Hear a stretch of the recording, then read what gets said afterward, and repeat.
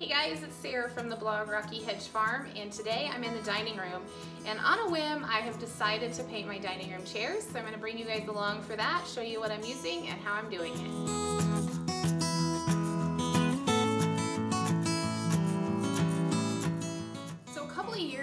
We actually purchased a brand new dining room table with six matching chairs. It was a very rustic pine look, but it had a very orange look to it, or at least I thought so. So this dining room table has definitely seen its share of makeovers. It's been black before and then I tried taking it back white. But what I have found in the past couple of months is I'm very drawn to that um, more rustic industrial look, um, the black and the wood with some white. Now, all of my walls in the house are white and I have a lot of white furniture and um, pieces like that. So I was recently looking through a lot of um, photos from the past and I realized that I really missed my black dining room chairs and my table. Now I recently bought new chairs for this table. Um, there was actually nothing wrong with my other chairs. It was just that I really wanted that mismatched look and I wanted something older and authentic and so I found them on Marketplace and um, I think Craigslist maybe as well. So I went and I picked them up and I've lived with them brown for quite some time. Um, but again, I just really missed the black. So I got some chalk paint I've got my paintbrush and I'm gonna get busy painting these chairs. So when I'm using chalk paint, I actually just put a very little amount on the edge of the brush and then I start painting, but I don't use a lot of paint like all up on the brush because it just creates such a mess. So just use a small amount of paint and go over the area that you're working on.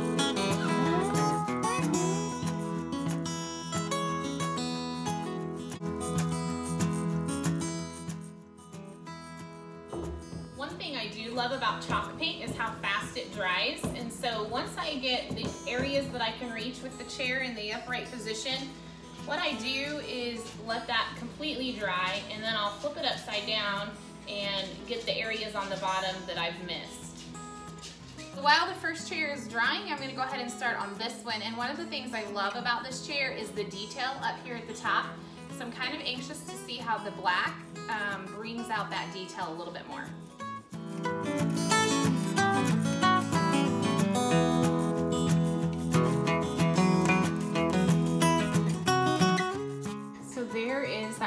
Pretty detail that I was telling you about on the back of this chair. And you can tell that I didn't fill all of it in with black paint. I just went over it a little bit and coated it. It really makes that look good. So I just finished up painting all of the chairs black and I had originally planned to not put a protective coat on these. I just thought, well, that black will wear a little bit and the brown will show through. But what I ended up doing was just putting the paint on really thin and I think I mentioned that at the first part of the video. But now I did decide to go ahead and do a coat of polyurethane on these chairs and I'll show you why. So if you can see this spot right here, if anything slightly greasy or wet touches it, it changes the color on um, the chalk paint. So that's why I've decided just to go ahead and do a coat of the polyurethane to protect the chairs. This is the polyurethane that I use and it's the clear matte finish. These won't be shiny. I really prefer not to have shiny pieces, but I'm gonna show you guys the difference that just a little bit of this can make on these chairs. If I put the chairs side by side, you can really tell the dramatic difference. So I'm so glad that I chose to use a protective finish on these. This one is finished and it turned out so beautifully And then this one right here still needs that polyurethane on it.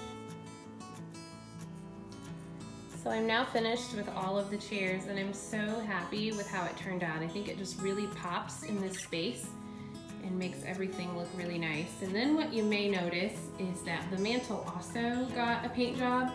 Um, when I was doing the chairs, I just felt like the mantle needed it as well. And so I did kind of the same process that I did with the chairs. I just used a light amount of paint on the brush so that you can still see the wood grain as well. I'm very thankful for how this project turned out. Um, if this is something that you think that you would love to try to do as well, it's definitely easy to copy. Um, just head to your local thrift stores or search Craigslist or online marketplaces. Find some mismatched chairs, and then it's just as simple as using some chalk paint and polyurethane to complete the look. Thank you guys so much for taking the time to stop by today. I hope you guys have enjoyed this project. Don't forget to hit subscribe below to stay up to date with all the latest happenings here at Rocky Hedge Farm. And as always, you can also visit the blog for more details on this post, rockyhedgefarm.com. Have a great day, guys.